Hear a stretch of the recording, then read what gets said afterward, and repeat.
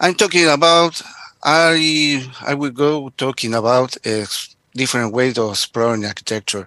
Uh, let me show, let me talk about uh, a little bit about uh, a few introduction of me. Well, uh, 12 years ago, um, I became a parent, so I I had a, a, lot of time caring of my child, my little daughter, uh, because my my wife uh, came back to to her office.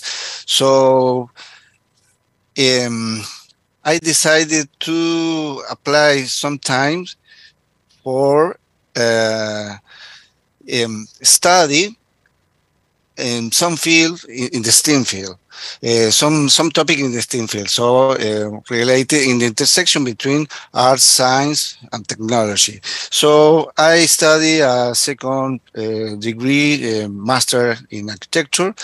So um, the after the um, taking taking the class, uh, I I had to choose the topic for my thesis.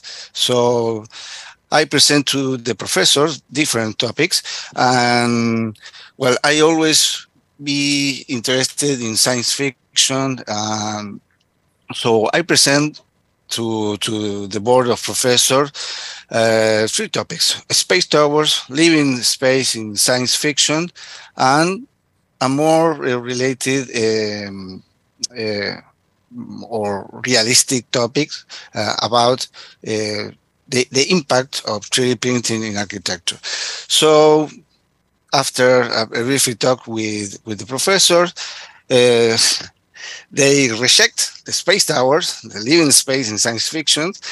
So I decided to um, develop the my thesis on, on the impact in 3D printing architecture.